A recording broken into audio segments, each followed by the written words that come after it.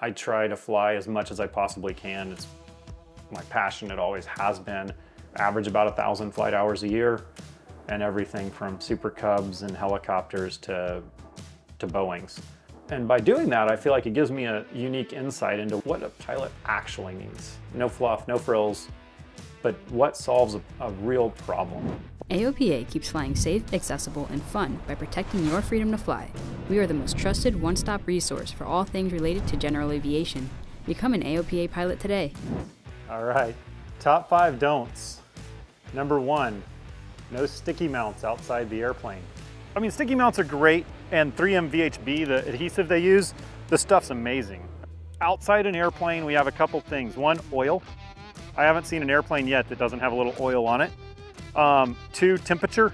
So, you know, it can get really cold, not even that high, and that'll cause that VHB to come off at some point. Number two, no suction cups outside the airplane. Suction cups, another great tool, but the problem is suction cups the principle they work on is air and the volume of air, and as we climb, that changes. So for that reason, suction cups never go outside the airplane. Our third reason, no tethers. Okay, we all like to keep that really, you know, awesome new GoPro we bought. We don't want to lose it. We don't want it to fall off our airplane. So we tether it. And if, if you tether it to your airplane, that $400 GoPro might do $30,000 worth of damage to your wing. Okay, so what I recommend is don't tether your GoPro. Never mount it in front of something that could be catastrophic. We never ever mount a GoPro to any movable control surface. Make sure that anywhere I mount it, if it were to flop over on the mount and stay attached to the airplane, it can't jam a control surface.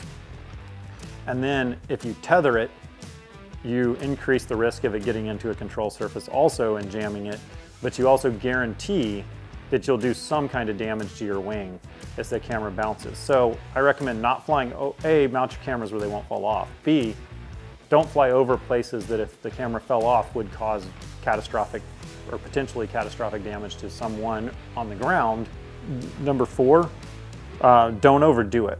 So what I see a lot of beginners do is they go out and they buy four or five new GoPros because they've seen uh, great YouTube videos with these guys that have ton of, tons of experience. Oftentimes they come from a professional video background, um, so they know how to operate all this stuff. And then somebody that's never used a GoPro before is learning to fly, is now trying to deal with four cameras and learn to fly at the same time.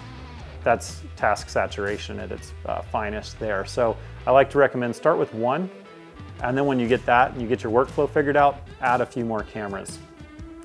And the last and most important thing is don't do anything for the camera that you wouldn't do without it.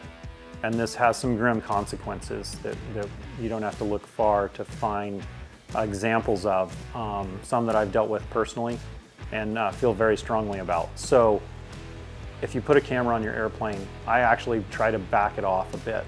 If I'm flying for the camera, I try to do less than I would do without the camera.